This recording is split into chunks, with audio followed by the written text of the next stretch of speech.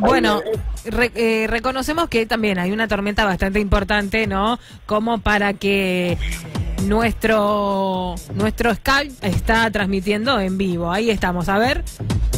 Ahí estamos tomando imágenes directamente desde Sí. nuestro Skype, que bueno. ¿Cómo está, cómo está Buffy, que está repleto de gente? Sí. Sí. mentira, gente